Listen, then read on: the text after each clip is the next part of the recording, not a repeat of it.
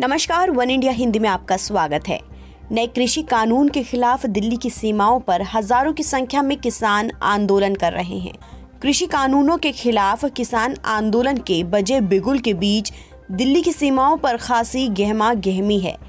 किसानों को दिल्ली की सीमाओं पर ही रोक दिया गया है। वहीं कई दिनों से आंदोलन कर रहे किसान अपना कई महीनों का खाने पीने का सामान साथ लेकर चले हैं, जिसका प्रदर्शन वो कई बार कर चुके हैं। सारी सुविधाओं के साथ आंदोलन में कुछ किसान ऐसे भी हैं जिनके लिए मनोरंजन भी ज़रूरी है। इसी बीच अब सिंघू बॉर्डर पर इन दिनों एक डीजे वाला ट्रैक्टर लोगों के आकर्षण का केंद्र बना हुआ है। एक तरफ़ किसानों के आंदोलन की आवाज़ है और दूसरी तरफ़ संघर्ष की तान है। डीजे वाला ट्रैक्टर आंदोलनरत किसानों का मनोरंजन तो कर ही रहा है। उन्हें संघर्ष के लिए भी प्रेरित कर रहा है।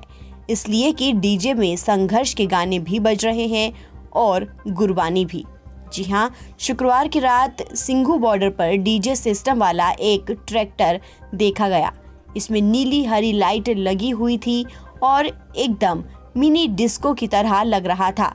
किसान इसके आसपास खड़े थे और तेज आवाज़ में चल रहे गानों पर नाच रहे थे। किसानों का कहना है कि हम पिछले कुछ दिनों से यहाँ हैं और हमारे लिए मनोरंजन का कोई सोर्स नहीं है।